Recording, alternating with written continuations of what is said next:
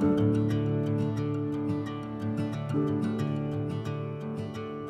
you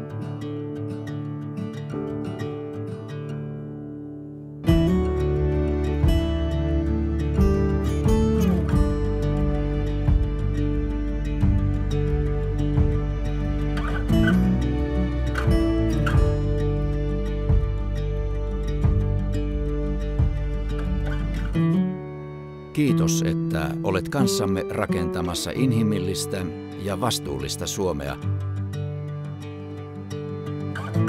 jossa kristilliset arvot eletään todeksi. Teet kanssamme suunnitelmista totta, lähellä ja kaukana. Tämä on yhteinen tehtävämme. Siksi me olemme olemassa. Teet siunattua työtä.